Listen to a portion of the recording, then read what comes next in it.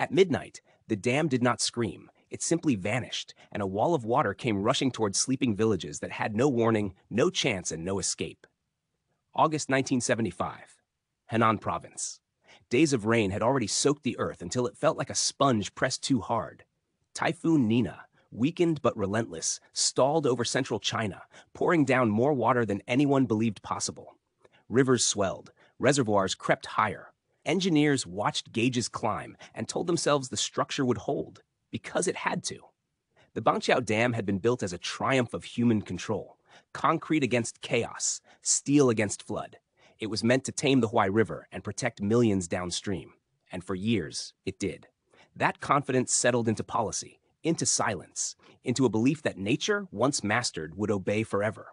But the rain did not stop. Hour after hour, water battered the dam's face. Spillways clogged. Emergency messages were sent, but some never arrived lost in storms and political delay. By nightfall, the reservoir was holding far more than it was ever designed to bear. The dam groaned under pressure no one could see from below. Then, shortly after midnight, it failed. Not gradually, not politely.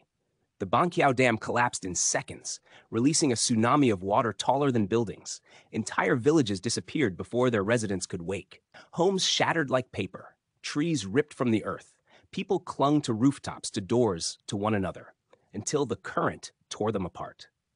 And the horror didn't stop there. The collapse triggered a chain reaction.